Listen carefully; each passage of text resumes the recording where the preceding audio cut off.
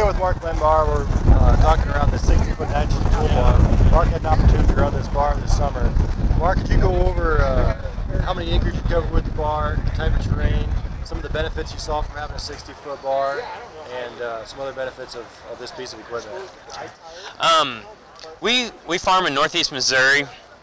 We have a variety of terrain from rolling terrain with terraces, uh, uh, hills and stuff to uh, flat bottom ground that's um, really heavy gumbo. So um, we got to run the bar in a variety of conditions. We ran it over a couple thousand acres, about uh, 2,500 acres. We uh, um, some of the advantages we saw from having a 60 foot bar was we covered a lot more acres. Um, we were able to slow down, take our time, do a little better job, we thought. Uh, one thing different from this bar from the, our older bar we have is it's, it's on 60 inch centers. We didn't see any adverse effects from that, but with the dry weather, it's hard to say a, a, a, for sure one way or the other. Um, we averaged about 10, maybe 12 miles an hour with it uh, most days, and we're able to cover a significant amount of uh, more acres uh, compared to our older bar. One of the things about this bar that Hagie's done, which is really neat, um, is you're able to increase or decrease down pressure on the wings.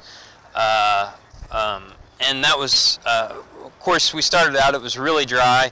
We got one significant rain event while we were uh, side dressing, which uh, actually loosened our soil up. So I actually got the opportunity to run it when it was wetter.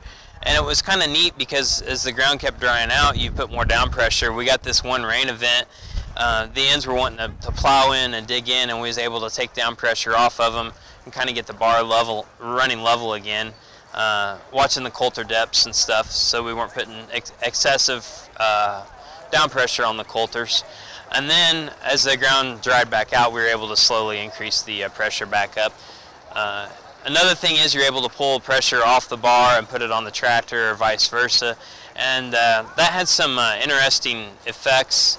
Um, as terrain changed going from gumbo or being in the hills, maybe wanting a little more uh, weight on the tractor so it could have a little more control or, or vice versa. Um, uh, or, or, if you wanted to spread the weight out maybe when it was wetter um, over over the entire bar, you had the capability of doing that. It's just very convenient um, to, to just be able to change for any type of soil condition.